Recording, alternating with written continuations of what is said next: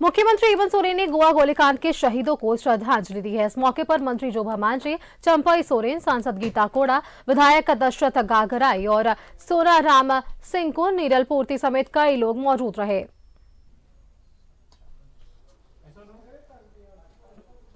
तो देखिए, गोवा गोलीकांड के शहीदों को मुख्यमंत्री हेमंत सोरेन ने श्रद्धांजलि अर्पित की।